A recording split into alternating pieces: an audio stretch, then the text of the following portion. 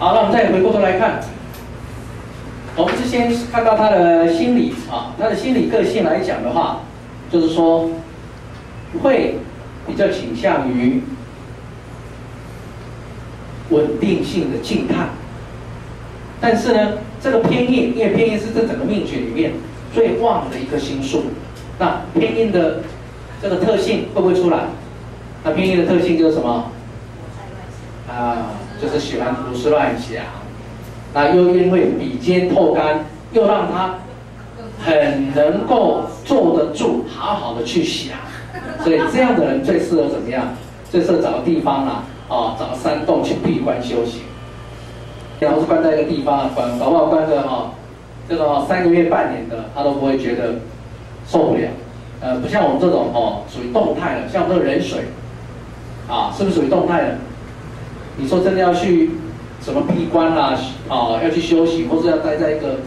固定的地方不动的话，不容易待得住，因为那个心性比较比较动，啊，那下面就会，那这样给人家的感觉好像说，哦，他非常非常的沉静，但事实上呢，在沉静的背后，并不是有那么样的好的现象会出来。啊，怎么说呢？因为偏印的业力因果会不会来干扰影响？会哦，啊，甚至你在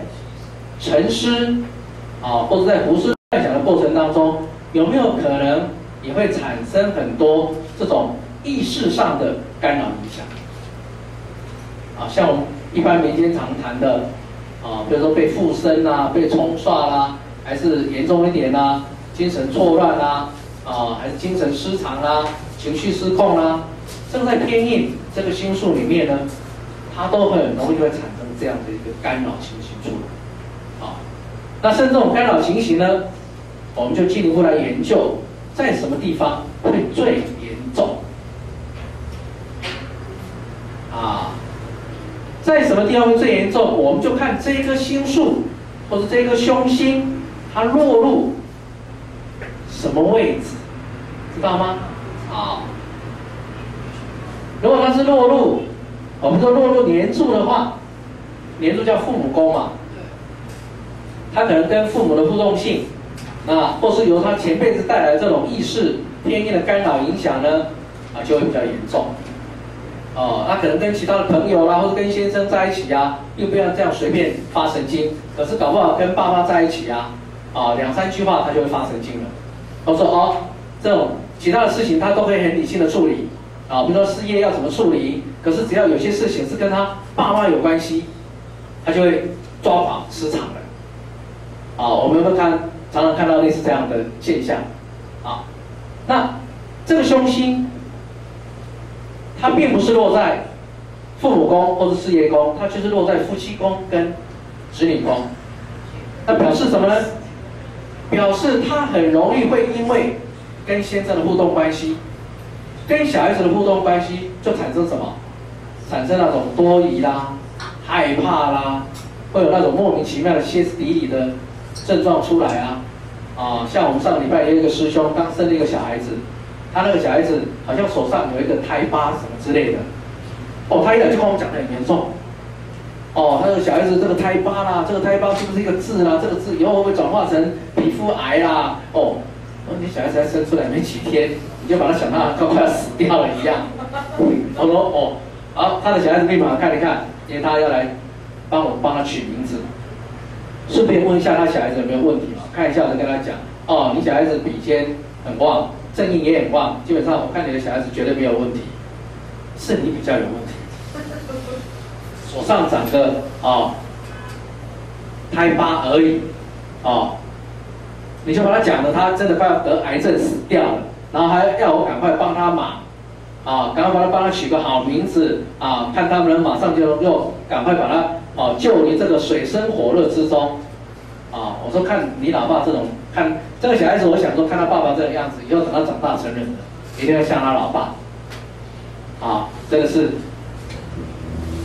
太过紧张了啊！这情绪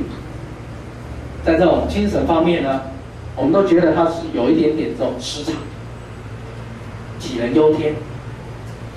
所以像这种情形呢，它是落在夫妻宫。那我可以告诉各位，当他的先生就会很辛苦，知道吗？啊，搞不好哪天呢，我们大家看很多情形，搞不好哪天他就去去逛百货公司，突然发现他的先生今天竟然没有去上班，跟那个女孩子在那个百货公司里面的那个咖啡厅啊，在那边有说有笑，哦，还能够这样手来脚去的打情骂俏。回来呢，就问先生，你到底今天去哪里？先生，然后也不跟他明讲，就说啊。今天就在公司上班啦，啊，然后他就开始胡思乱想，啊，我先生一定有外遇了，一定不要我了，要把我抛弃了，我对他这么好，想一想啊，想到晚上整晚睡不着，三天都失眠，然后就吃安眠药自杀了。哎，救活以后，他感谢我那一天看到你在啊咖啡厅啊，啊，跟哪一个小姐有说有笑的，那搞不好现在跟他讲，那如果说我十年不见的表妹，今天来台北有事来找我，我当然约她出去。公司旁边的咖啡厅聊一下，讲一下，因为从小感情就很好啊，本来就是这样啊，非常啊这样亲热的一个小举动就会出来啊，那是不是就搞了一个大乌龙？我们很多人有没有面对这种问题，不去把它问明白，不去把它想清楚，然后一些蠢事傻事就乱做一通的，有没有多这种人？我告诉你这种人绝对。一定都有偏印在干扰影响，所以遇到偏印的人，如果你知道你的家人有偏印的话，当他一有什么事情要问你，你要不要马上就要讲得很清楚明白？这样了解了吗？你不要让他有什么去怀疑、去多疑、去乱想的空间，这样你会害死他。那你把他害死，你自己也好不过到哪里去？你也就是说让他牵连嘛，是不是如此？哦，这个就是针对偏印或是劫财，都有这样的特色，你都不能够做任何丝毫的隐瞒。所以像这种偏印落在夫妻宫，他对他先生的这种猜疑心、多疑性，就会很强烈、很强烈。那相对的，也有一个落在子女宫，往后呢，当他的小孩子啊，大概也好不到哪里去，也会很辛苦啊。